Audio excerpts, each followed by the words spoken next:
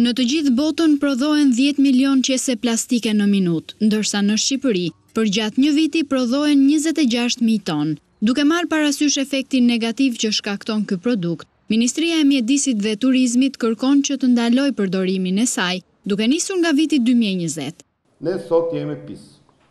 Edhe është e pafalshme që Shqipëria e vitit dy mijë e nëntëmbëdhjetë, Shqipëria në dyert e Bashkimit Europian, të ketë kaq të keq kudo në vend trajtimin e mjedisit, trajtimin e mbetjeve urbane, luftën kundër qeseve plastike.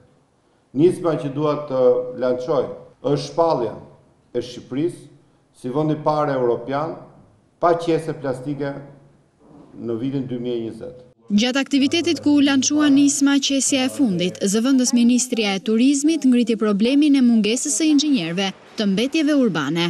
Është shumë e nevojshme që njohuritë e këtyre inxhinierëve të ardhshme për çështje të mjedisit dhe specifikisht për menaxhimin e mbetjeve urbane të jetë në një nivel tjetër shkencor dhe të jetë në një nivel më të kualifikuar shkencor.